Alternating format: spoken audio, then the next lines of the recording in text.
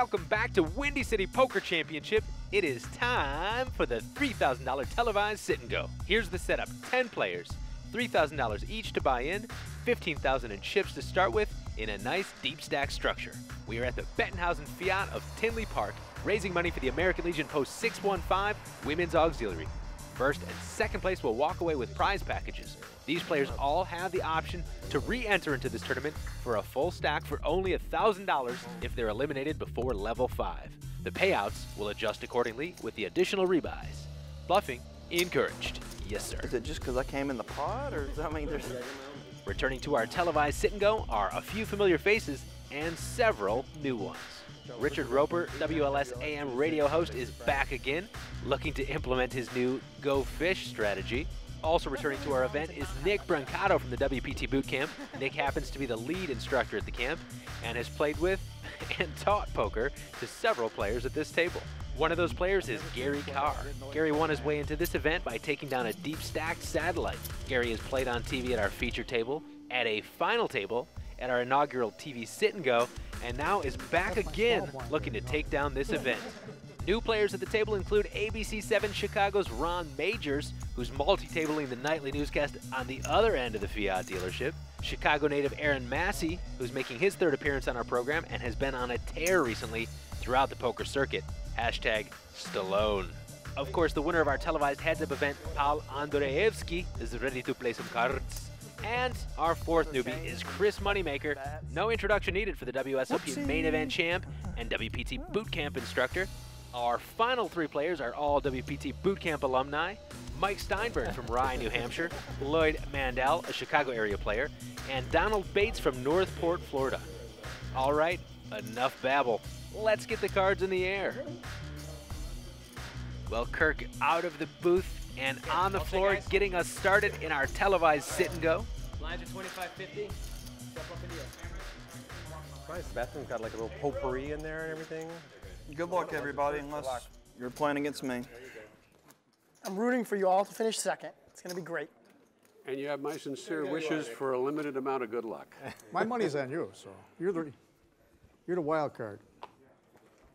Actually, there are wild cards in here. We left the jokers in the deck. Speaking of wild cards, action's going to start on Nick Brancato, who is no good at Joker's Wild, as we saw in a previous Windy City Poker Championship broadcast. He lost heads up to our own Kirk Fallah. Oh, look at that. My And Richard Roeper knocking over tell. some chips. It is.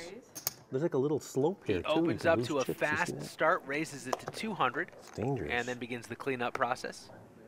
Aaron Massey is right behind him with a good starting hand, ace queen Raise. unsuited. And look at this, we have a raise and a re-raise right out of the gate. There's ABC7's Ron Magers. We're happy to have him with us.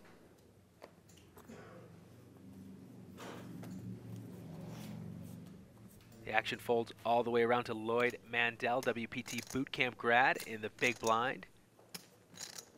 He's got King Jack offsuit, flashes his instructor and folds. Well, flashes uh-huh. his cards, that is.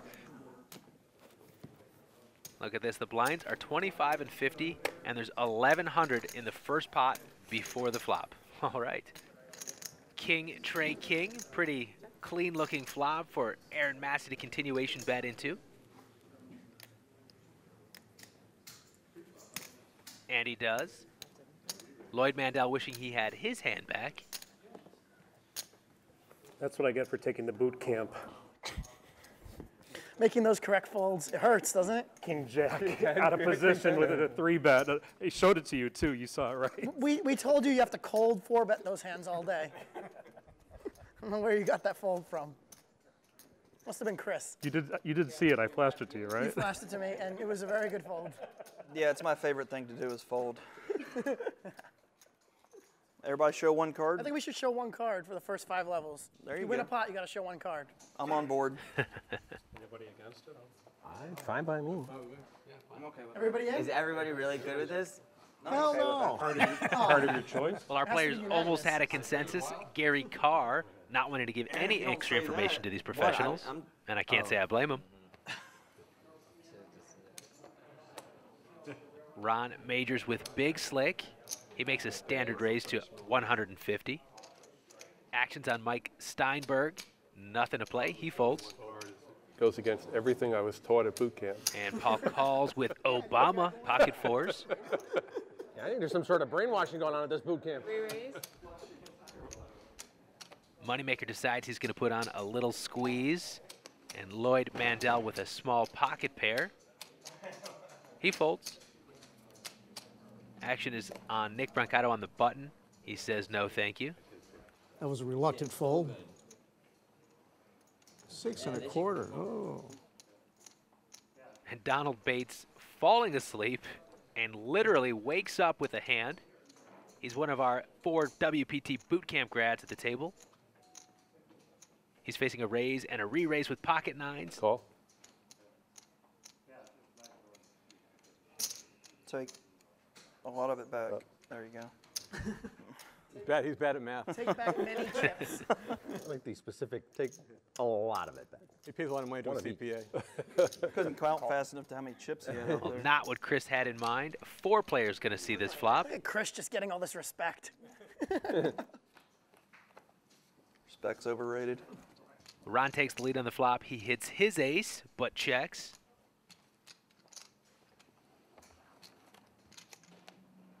Turn card pairs the board.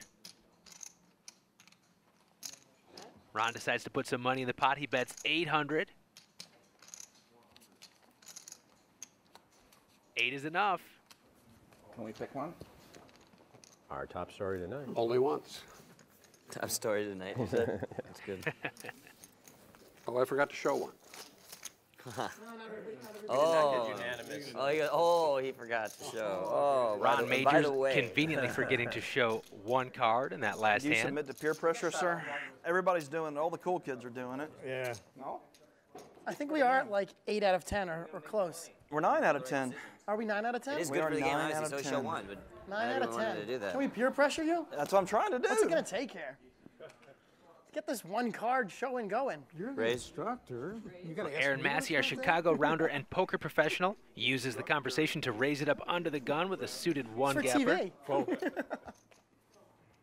I was never one to knuckle under peer pressure. 2003 main event champion Chris Moneymaker with a call in position. These guys have played a few hands together in recent years.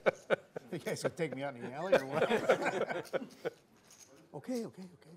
I give up. I'll On the button, Gary Carr, our one card show holdout, folds. And the action is back to Richard Roeper in the big blind. He's downtown with a discount.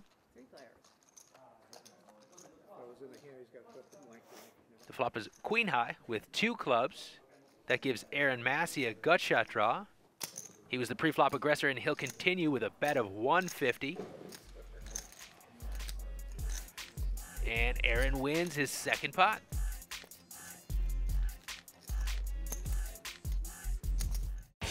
This is Mike Sexton. Want to win at poker, finish in the money, and consistently win at cash games? Join me and other pros at a WPT boot camp. You'll get hands-on training, sharpen all aspects of your game, I'll let you do it the right way. and learn to play like a pro. Our two and three day camps are held at the most famous poker venues. Many students recoup their tuition after just one camp. Our goal is to make you the best poker player you are willing to be. Start winning now. Go to WPTBootcamp.com and put the odds in your favor. WPT Boot Camp, your fast track to the final table.